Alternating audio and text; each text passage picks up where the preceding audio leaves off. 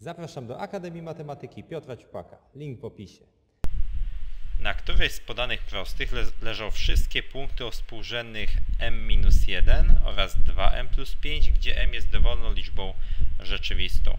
W tym zadaniu musimy potraktować m-1 jako x, natomiast 2m plus 5 jako y i podstawić do funkcji.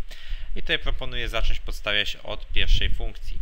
Czyli za y wstawiam 2m plus 5 ma się równać 2 razy. Za x wstawiamy m minus 1 plus 5 za nawiasem zostało.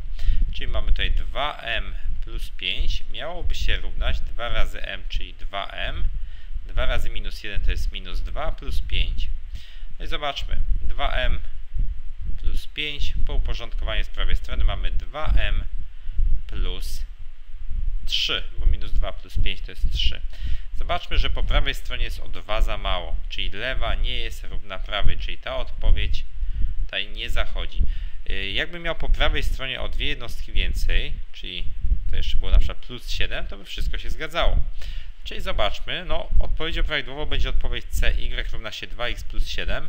Sprawdźmy, czy to zadziała. Za y wstawiamy 2m plus 5 równa się 2 razy w nawiasie m odjąć 1 plus 7 za nawiasem.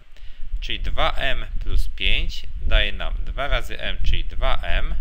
2 razy minus 1 to jest minus 2 plus 7. Czyli 2m plus 5 to się równa.